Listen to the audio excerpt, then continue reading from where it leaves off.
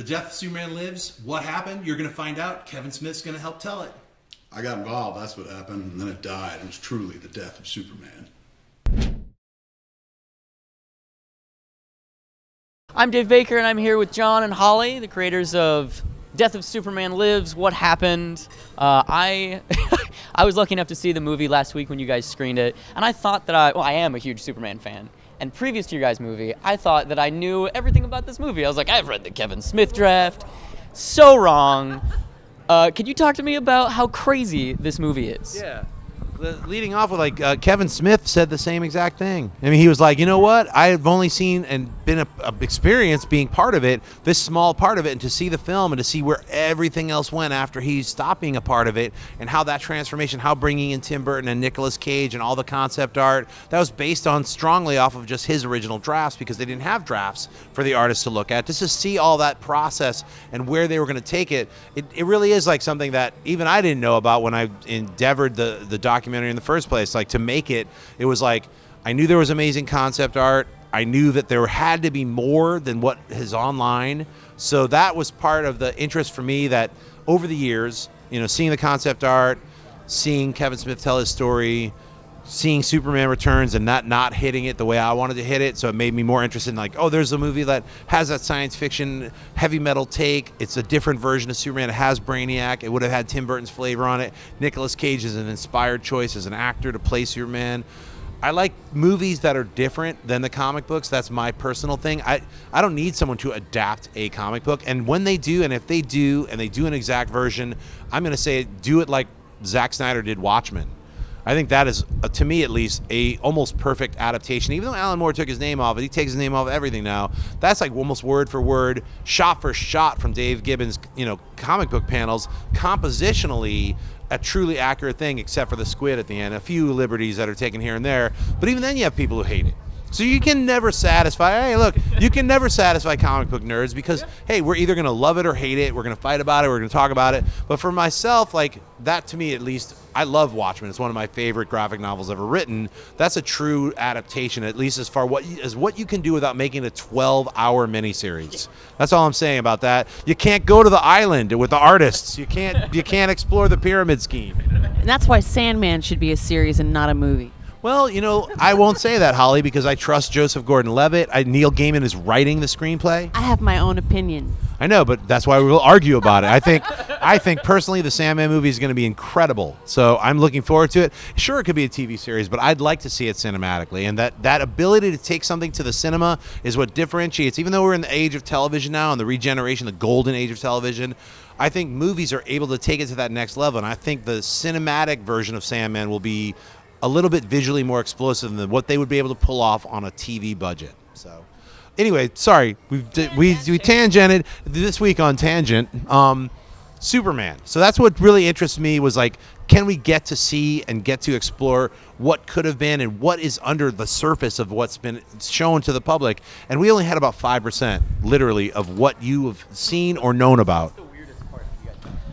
Uh, well, the weirdest part, uh, you know what? Uh, one really weird part was something didn't make it into the movie, which was some of the casting options that they had for uh, all of the characters before Tim Burton was even brought on. Um, uh, like Matthew McConaughey for Superman. I mean, Nicolas Cage was still the main choice, but like Skeet Ulrich, remember the '90s? Um, so that was one. He was on a list. Uh, yeah. It was. It, it, I mean, the list was kind of. It was so so quintessentially '90s. Like we'll we'll post those at some point. But um, the, the other one was like a mind blower. Was uh, Howard Stern as Brainiac? He was at the top of the list for Brainiac. Um, private parts, exactly. It was a real you know, hot number at the time. So uh, yeah, that was that was kind of shocking. But I think ultimately, like looking at the concept art and seeing the, the artwork for Lexiac uh, slash Luthiac was was like, and imagining Christopher Walken and Kevin Spacey doing that. Oh my God!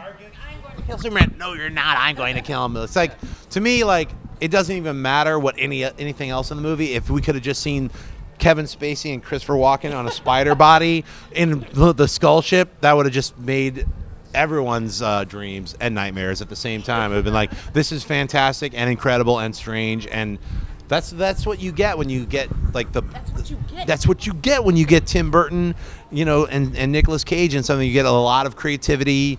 You you get them pushing the boundaries of what would be even ex- accepted in a comic book film, let alone just a fantastical film. It would have been a cosmic fairy tale. I think it would have been a lot of fun. Uh, the thing that's so crazy about the fact that you guys had so much access, like you had Tim Burton, you had. You, how did you get all the artwork? Took a long time. The access took a lot of time. So that's, you know, when it did the Kickstarter, it took like literally about a year just to even start to get some of the artists, some of the concept artists. We like even before we got the money for the Kickstarter, we were starting to. We met uh, Kerry Gammill at uh, at Monsterpalooza and did an interview The very first Yeah. interview. He was our very first interview, but yeah, in his hotel room. It was very piecemeal at first. You know, we, we didn't expect to see Kerry Gammill. We didn't expect to see Pete Von Sholly, who's one of the monster artists. Uh, but but we interviewed those guys first, um, and they were cool. You know, they were they, they I you know many of the artists were kind of reticent at first because they didn't want to be interviewed unless we talked to Tim Burton. So once we did ta- talk to Tim Burton, then the floodgates sort of opened for us. But this, that concept art that you see in the movie is all from Tim directly because he his executive producer Derek Frey, who has been absolutely instrumental in the making of this film, um, he gave us access to the costume test footage. That Nicolas, it's it is the holy grail footage. Yeah, um, but he also gave us access to that that studio, and we were there for two days shooting artwork. And what you see in the film it's a lot, but there's so much more than than even that.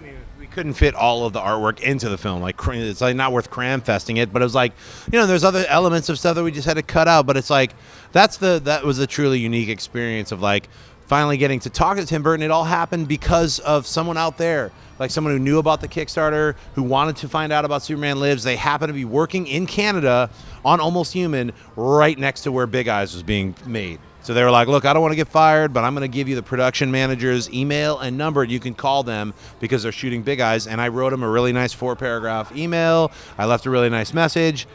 Didn't hear anything for like a month. I was like, "All right, that's a, that's not going anywhere." Then I get then I get uh, an email from uh, Derek Frey, and it had gotten passed along. They're like, "You want me to handle this?" You know, because obviously Tim Burton gets tons of emails and requests all the time, so people have to goes down the, and up in the chain of command. And he said, "Look, I'll talk to the guy. He's not sure if he wants to be involved. How long can you wait?" I said, "I could wait forever." So cut to six months later. He said, "Call back in six months. We'll figure it out." Six months pass. All right, look. In five months, Tim might have a window between this movie and this Monday m- movie. He wants to meet you. Can you just come out to London, and then we'll decide from there. So, you know, I couldn't announce anything while I'm like doing this. You know, I couldn't say on any social media like totally locked down Tim Burton. yeah, we, Totes. I I would say actually the three things that were really the the the way we got this made was tenacity, luck, and personality. Because people who talked to Jon were very set at ease instantly just on meeting him, you know. So, um, and that meant across the board. Um, so it was very. Once we had the access, all the pieces started started to fall together. And once people knew the direction we were taking with it, they felt a lot more trusting. Right. We weren't making a comedy piece. I'm known from doing comedy shows and stuff. So I, I, I wonder if they thought I was gonna like space ghost the whole thing or whatever. Yeah, but like like have people like lasers coming out of their eyes while they're talking or what? You know, who knows what they thought. But I was actually coming at it from a real earnest kind of super comic book nerd fan, and as also just somebody who's been in the business who wanted to explore the unmaking of a film. And this this really felt like something personal to me. So it's something that interested me on so many different levels uh, that I wanted to, you know, try it. And then as we were making it, it became something more fantastical and something I couldn't wait to share with everyone. So being here at Comic Con is really the payoff. It's like we launched, everyone got their, everyone from Kickstarter and Fanback got their digital download. We've been selling all of the digital downloads on, on our, our site, www.tdoslwh.com. Uh, where you can get all the stuff. And then we are here at Comic Con. People are responding. We're getting tweets like people love the film. So it's like fantastic to like be able to share something that we've been working on really hard and not really even knowing if people are going to dig it or not. And then to have them come away from seeing the film and feeling the same way that we felt means that we actually communicated what we were trying to do. So there's so much hate surrounding Superman Lives. There was so much hate on the internet. There's so much hate for. Uh, it, there's this you know thing with Nicolas Cage that people just don't can't perceive him pre National Treasure. You know, so that's something that you know if you if you don't know what his his body of work was before that, you know, unfortunately, it's not. A, you can't.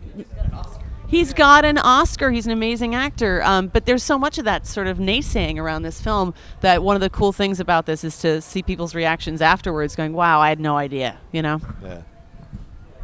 Well, uh, in closing, when I saw you, you made a very nice statement at the end saying like there's been all this talk about animating this thing or people asking like when can what can we see a thing that's made of this thing and you talked about how a screenplay and some concept art is a blueprint not an actual movie and I think that that's a really important thing to say because people think that like the script is the movie. Why can't they just make that? That's not. Who knows what they actually would have done when they got in the room? Like there's the scene where in the test footage where Nick Cage is like, no, I don't, I don't know about this shirt. What, put him in a Mickey Mouse shirt. Yeah. Clark Kent in a Mickey Mouse shirt. That is the weirdest decision, and yet kind of awesome. Yeah. I'm still not sold. I don't think I need to see that movie, but I love that we saw that that movie almost got made. Yeah. Um, so thank you for making the movie. Oh, you're welcome. Thank you. And uh, if you guys want to check it out, once again, go to our website. It's available as a digital download or a Blu-ray with 10 hours of extra footage. We basically cut all of the interviews, recut all everything, and included as much as possible, just so you get a, an even fuller experience. If you dig the film, you'll want to check out all the extras. Yeah, you can go really deep with this extra footage. Just 10 hours, a full extended Jon Peters interview, which you don't want to miss. It's almost an hour. Um, yeah, absolutely. Uh, but you can find us also on Twitter uh, at TDOSLWH, and uh, the website, as we said, is www.tdoslwh.com, which is every letter of The Death of Superman Lives, What Happened. Yeah, if, pe- if people wanted to, like, well, that's really weird. Yeah, yes, it is. Thank you very much.